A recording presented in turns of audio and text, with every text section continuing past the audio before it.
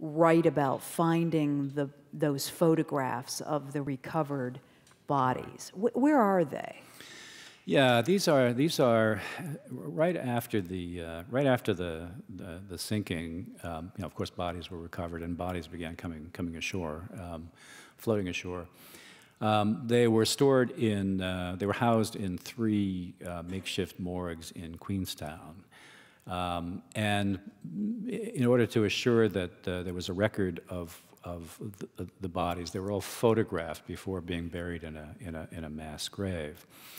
Now, I knew these photographs existed, um, and when I was in Liverpool at the University of Liverpool, which uh, holds the historical Cunard archives, I asked about them, and uh, and they said, "Well, we have them, but we're not going to let you see them because nobody, we don't let anybody see them anymore."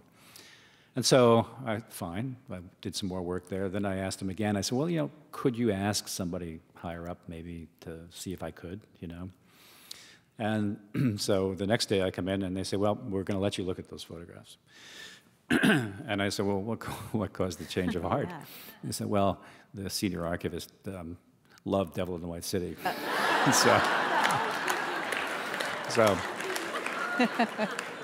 but these were very, I have to, I have to say that these were, they would not let me bring my digital camera in, which is the way you do research these days. You photograph documents, you don't Xerox them anymore or photocopy them. Um, sitting there looking at these, these photographs was actually really very powerful and, and moving and very important because it told me that, that this is what the story is about. It's not about the conspiracy theories. It's not about all that stuff. It's not about the geopolitics involved. It's about the fact that this was, first and foremost, a tragedy, a human tragedy of great dimension.